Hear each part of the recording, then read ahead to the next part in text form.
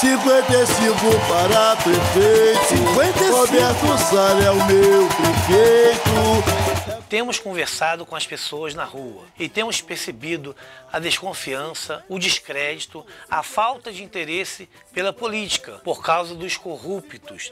Temos que interromper esse ciclo de corrupção em nossa cidade, assim como fiz em Brasília no impeachment. Vamos nessa linha, não roubar e não deixar roubar o dinheiro público. Falando com o coração, quantos candidatos realmente irão lutar contra o sistema, contra a corrupção na Prefeitura de São Gonçalo? O Roberto Salles, nele eu confio, eu tenho certeza que você vai ter um serviço muito melhor do que tem hoje.